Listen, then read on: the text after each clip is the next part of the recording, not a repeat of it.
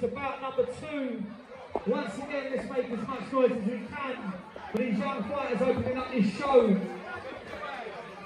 In the blue corner, please welcome Gabriela Aukskelis.